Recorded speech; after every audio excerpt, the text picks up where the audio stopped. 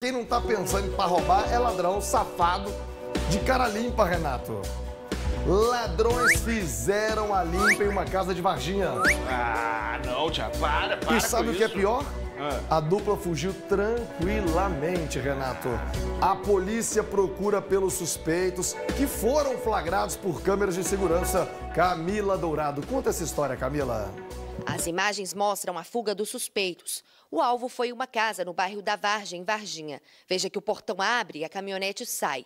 Na sequência, o suspeito com uma bolsa aparece. Ele fecha o portão e foge no veículo. Segundo o dono do imóvel, o local foi invadido. Os suspeitos fizeram a limpa pela casa. Joias, TVs, eletrodomésticos e vários objetos de valor foram levados. A polícia militar foi acionada e o prejuízo ainda é contabilizado. É um Coisa, prejuízo Renato. grande, né? Porque Então, você faz a conta aqui, põe de novo. geladeira. Põe aqui, ó. Uma geladeira. Põe aqui, na, tô calculando aqui. Uma A caminhonete geladeira. é top ali, né? Uma geladeira, 4, 5 mil.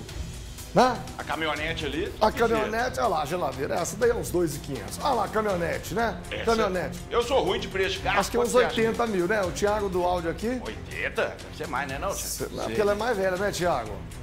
Tá bom, que seja 100 mil.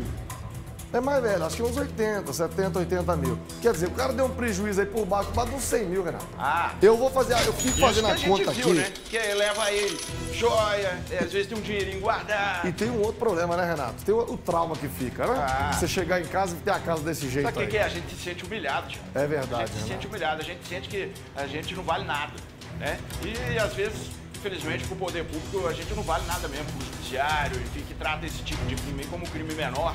Ah, mas é um crime de menor potencial ofensivo. Pra quem? Pra vítima não é não. Não é não, não né? é não, Mas o cara que tá lá no Supremo, tá lá ar-condicionado, segurança, não sei o que, ele não vai ter a casa furtada.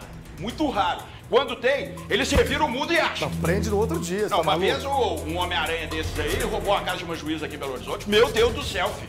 Não teve sossego em, né, em Belo Horizonte inteiro. Polícia pra todo lado. Prendeu o cara em menos de uma hora. Mas quando é com a gente, né, Tiago? Ô, Renato, agora para tudo.